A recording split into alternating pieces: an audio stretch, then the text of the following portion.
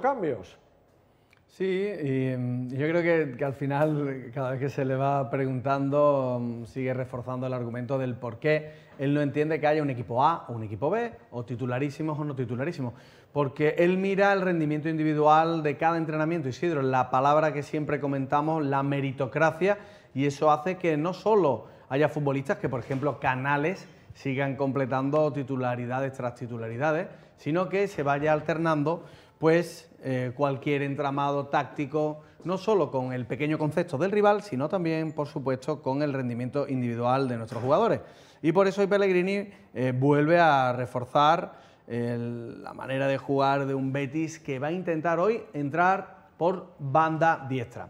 La manera de jugar de este Real Betis Balompié sobre el 1-4-2-3-1 lo vamos a poner un poquito más ofensivo, más eh, pensando en campo rival. Almería es un equipo que en los últimos encuentros que ha tenido con los dos sistemas que ha utilizado su mister Rubí, eh, ha cedido muchísimo el balón y esa manera de ceder el balón seguramente provoque que el Betis esté mucho tiempo en campo rival.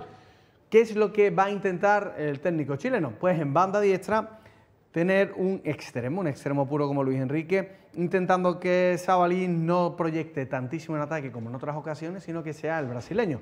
Por banda contraria, todo lo contrario, que sea Rodri el jugador que introduzca su fútbol por dentro, de esa manera indetectable, como siempre comentamos con el querido Juanmi, para que Alex Moreno sí sea pues ese puñal por banda diestra.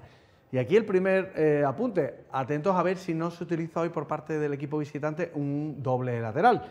En el centro del campo, Guido Rodríguez pivotando un triángulo defensivo para que Carballo y Canales pues vayan con fluidez hacia campo contrario.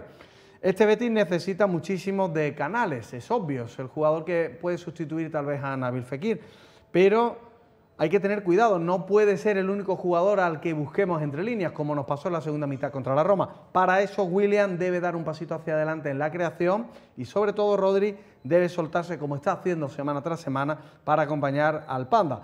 Una manera de jugar muy reconocible por los aficionados béticos, pero sobre todo un Betis que una vez más es muy ofensivo de cara a portería rival Isidro.